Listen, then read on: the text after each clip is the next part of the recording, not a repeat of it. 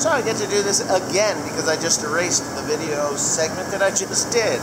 Uh, good morning, YouTube. I just got done watching Chucky 2009 fire up that intergalactic harvester beast that he had built and drive it out of the shop. It smoked, it was noisy, made all kinds of stuff. I was rather uh, amazed that he could actually make it move, and I think he should put a, a brake on his drive shaft going into transmission so that he can shift it while the engine is running. That would be a really simple thing to do.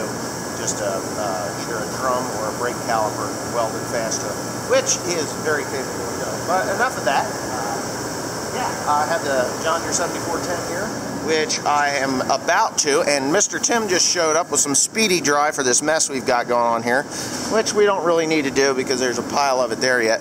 But anyways, all I'm doing is making the connections to the uh, to the uh, uh, uh to this tractor, and why the hell Oh, these are just wires that I didn't hook back up again. How stupid of me. Uh, but anyways, it's easy enough to do. Uh, I have to do the linkages on the backside for the S selective control valves, SCV valves. Why did I disconnect those? I guess it doesn't matter. But anyway, um, the other part I have to do is actually hydraulics, and there is an electrical connection there that has to be made at the tip of my finger, which that thing is laying on the bottom side and just hydraulics. But the hardest part is going to be the power takeoff shaft or the drive shaft that goes from the engine to that transmission because it actually has, uh, I want to put some grease in there. They're not dry, but they're not good. Uh, they're not bad, they're just, it's just like an oily, oil is left in there. There's no actual grease. So, what's your trouble? What is that? punch. Why did that thing just piss on me? What are you doing? What? Such a brass punch. Why? What's wrong with my old brass punch? Didn't you say you were having problems? Huh? What? Some moisture. Yeah, I know. It's it's thawing out because of the heater. What'd you say about the brass punch? I said I got it for you because I thought you'd lost it. No, I, well, yeah, it's around here someplace. I just had it, but anyway, thanks, Tim. All right, so I guess we're gonna make those connections and get started on the rest of this tractor. You'll see this one fire up. It won't be as spectacular as Chucky 2009's, but it will do a job that it is. Okay, so all our connections are made as far as I know. Timothy's been working down there cursing and swearing a little bit, right Tim? Yeah. You got the, everything where it needs to be? Just trying to get the engine turned. Huh? I'm getting the engine turned so I can get the other two bolts. Oh, okay. Well, while he's doing that, I'm going to explain a little bit what I did up here.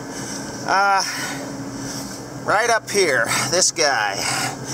All these hoses, uh, one, two, three, four, five, six hoses. Now, this hose here, see how it's kind of routed a little funny, goes up and around there? That is not the right hose for in here.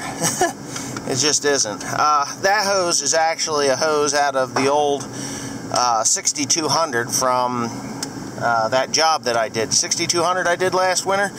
Uh, Dad was working and he blew that hose up. Okay, and uh, the only thing I had to even go find a hose off of was at 6200 so that's what I did and of course I bought a new hose when I finished up that job so uh, yeah for the most part I'm gonna cough a little bit for the most part we're just about ready to fire this thing up uh, no, we're not, because Tim's got linkages he's got to put on right there, the clutch linkage, which is okay. We can start it without that, I guess. Um, but I want to start it up and see if there's any leaks and anything up in here, and I want to get them clutch discs soaked up. So when he's done, ah, oh, I just hurt my leg. When he's done making those connections on that drive shaft, I'll start it up and then uh, we'll let it run for a few minutes. Check for leaks. Uh, I know that I don't have the uh, I don't have the loader the loader uh, hoses hooked up yet. One two three four. But as long as I don't touch anything they should not leak. If they do leak then I'm gonna have a little issue but I don't think they're gonna leak. Um, and I'm gonna watch my oil level which has settled to right about here from up here last night. So I know that it has soaked up some oil into those clutch discs which is great. Um, yeah. So as soon as he gives me the go-ahead, we're going to start it up. Right, Tim? Yeah, and we don't want to turn it on while he's under there. I never did disconnect the battery to this thing either. Um, just no, not necessary. We weren't welding on it. We didn't do anything that had to do with the engine or electronic, but all we did do was slide the ass end away from it. So anyway, I'll wait for him and we'll get on with that. All right, Mr. Tim. I actually missed the initial startup, but we did find an oil leak. It's underneath there. I uh, I had loosened up a, uh, a hose and forgot that I had done it. So anyways, take two. Let's fire this bitch up and see where she goes. All right. Now, um, the oil leak, I had to loose to tighten that one hose right there, so it was leaking. So that's fixed. We're good there. We have no oil in the sight glass, so we're going to have to put oil in her. And uh, it actually sounds pretty good. Um, I'm not seeing any oil leaks now at all. Have not hooked up my loader linkages yet because we're going to be replacing that and like I said earlier I have not hooked up these for the loader, the hydraulics on the loader. But other than that, this oh yeah and I forgot I haven't, Timothy hasn't gotten the linkages hooked up for the uh, for the shifting so that's another issue we have to contend with. So Mr. Tim's going to pump oil. Go ahead and put it in the go ahead and put it in the little, that one gallon container. Do one gallon at a time till it's full. That's all. We're just going to let it run a little while before we make any other adjustments or finish hooking up the linkages because I really want those clutch discs to soak up really nice. So that's that's what the plan is. Uh, anyway, Tim's going to put oil in here and I'm going to go back to uh, hooking stuff up. Alright, so I got it all. To make sure I don't have any oil leaks up front here and make sure that the wires and harnesses are all where they belong. And everything seems to be working properly from what I can see before I go ahead and put those vents back in.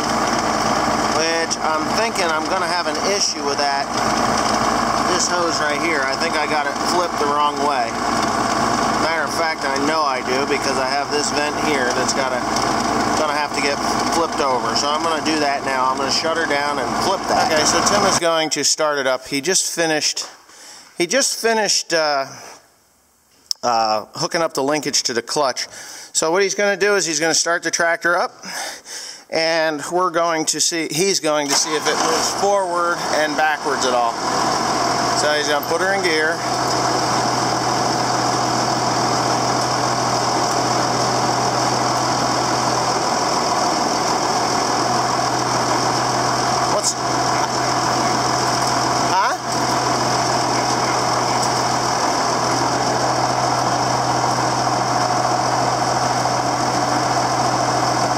shut it off.